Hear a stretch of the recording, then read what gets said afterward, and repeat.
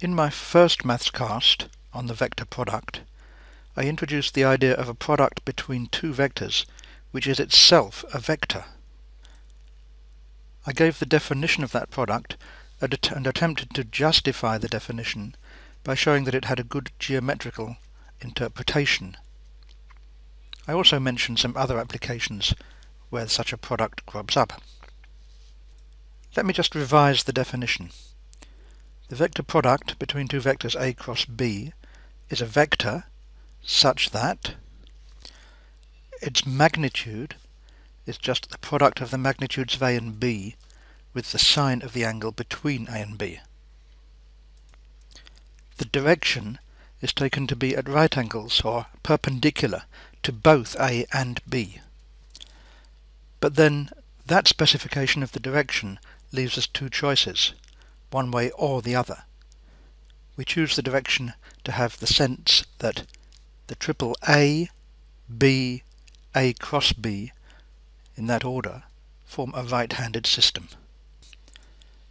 Those four specifications that I've now written down are enough to completely determine what is meant by the vector product. The product has one very important property, that it is anti-commutative. That is, that the order we make the product in is important, and if we swap the order it introduces a negative sign.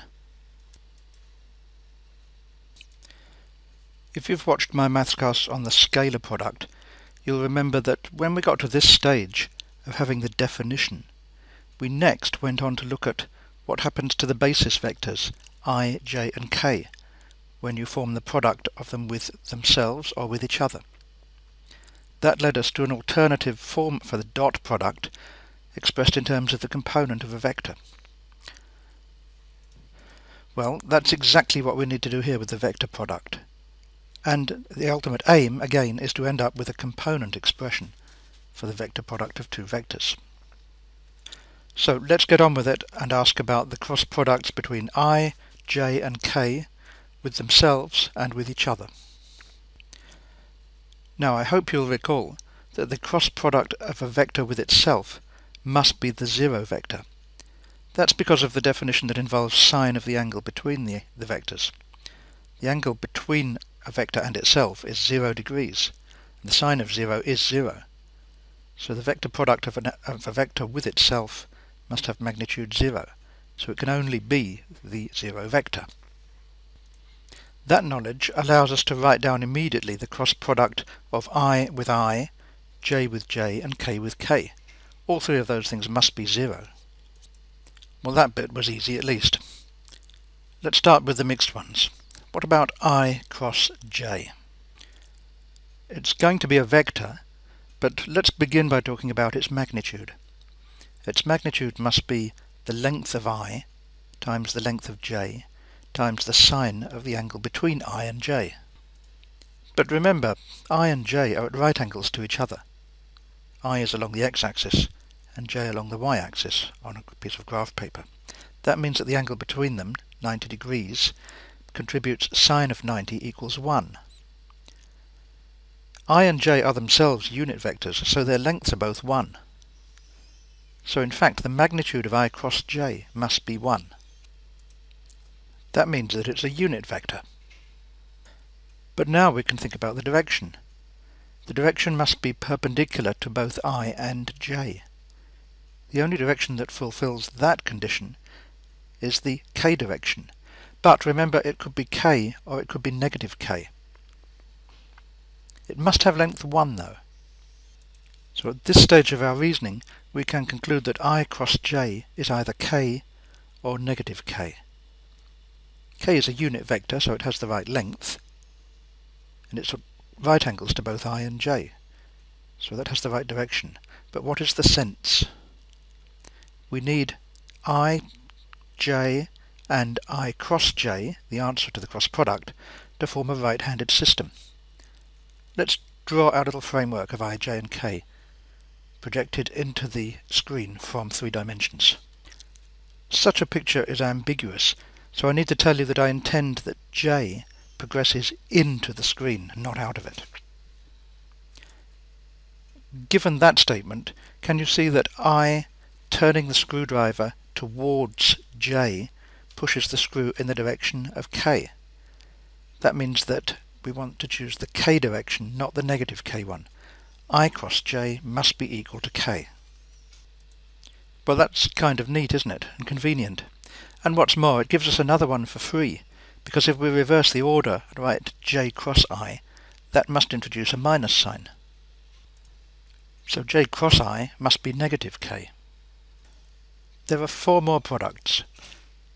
I cross K and K cross I, and J cross K and K cross J.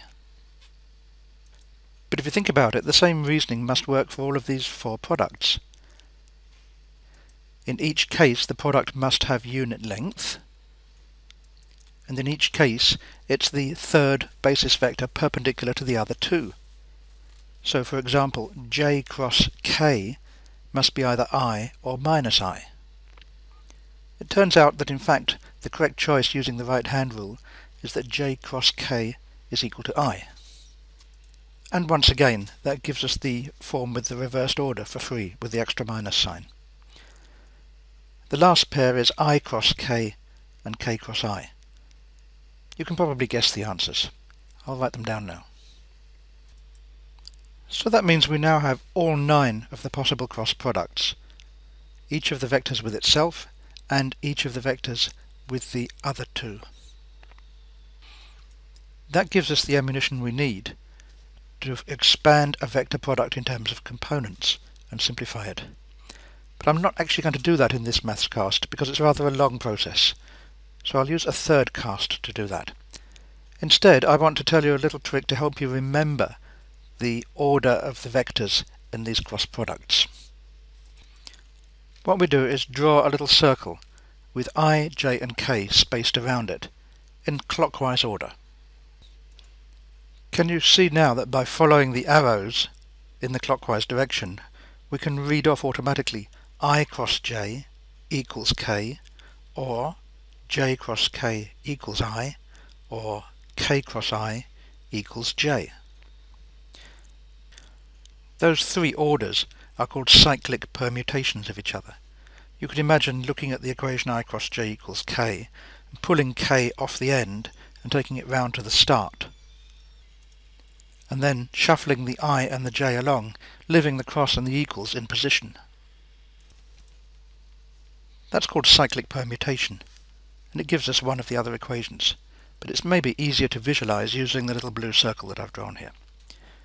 On the other hand, if we go around the circle in the anti-clockwise direction, then we introduce a minus sign. So j cross i equals negative k, i cross k equals negative j, and so on. I hope that helps you remember these various cross products.